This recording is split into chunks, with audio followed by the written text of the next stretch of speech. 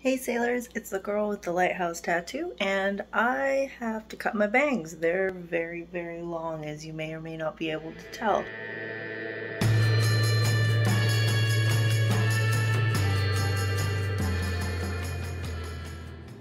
So because I was pretty focused on cutting my bangs, I did not actually end up speaking while doing that. So I'll record a little bit of voiceover right now for anything that I deem relevant.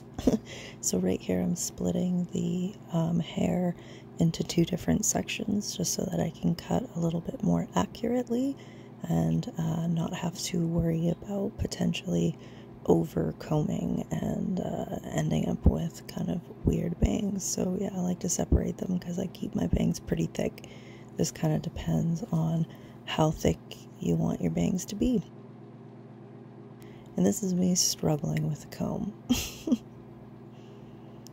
and here we go. Here's the first chop. Alright, we're in it now.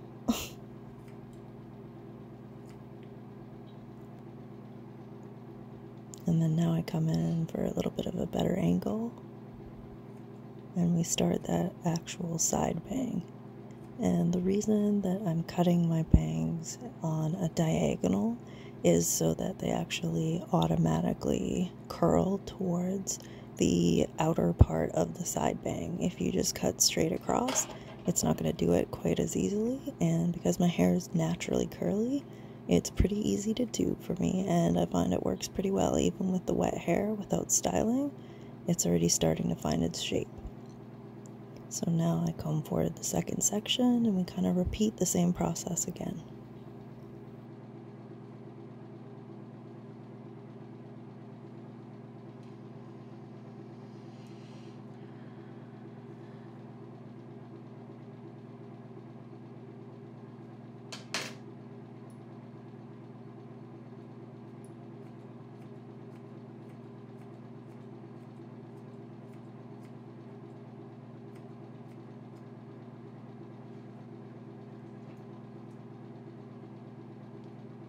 One thing to note is that I do recomb sections a couple of times just to make sure that all of the hairs are in at the same angle.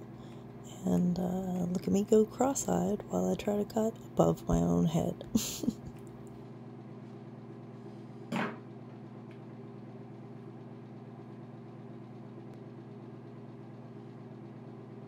It's also important to check and recheck at different angles multiple times to see if there's little bits sticking out in places that they shouldn't be. You kind of have to go from experience, and uh, I've done this quite a few times.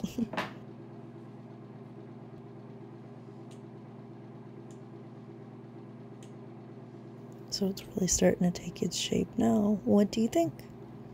I think they're pretty close to being done. Certainly need a double check once they're dry, but yep, let's see.